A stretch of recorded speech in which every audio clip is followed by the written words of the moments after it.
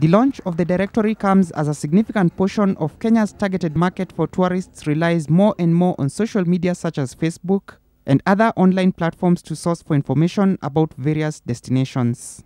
With the world now a global village courtesy of the internet, it is now imperative for the tourism industry to share as much information as it can online with potential clients. At the end of the day, there are very many attractions that we may know about within our counties that the world does not know about.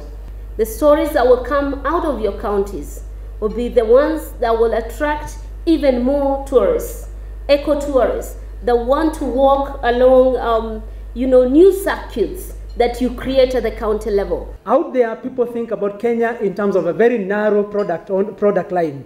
And this is the reason why we felt working closely under our parent ministry and also with the World Bank and the stakeholders that we need to expand our product range and we need to talk about the attractions and the good things that are happening in this country. The marketing of Kenya's tourism products, which has often suffered inadequate funding, is set to go a notch higher with plans for an international ad campaign in the next one month.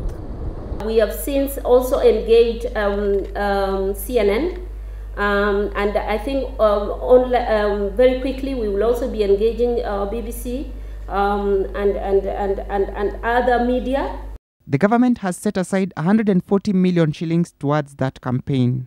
The ad campaign is one of the recommendations that was contained in a raft of measures proposed by the Tourism Recovery Task Force, which finalized its report.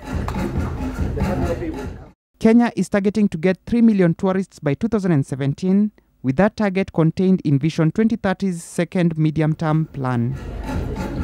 Alex Mwangi, NTV Business.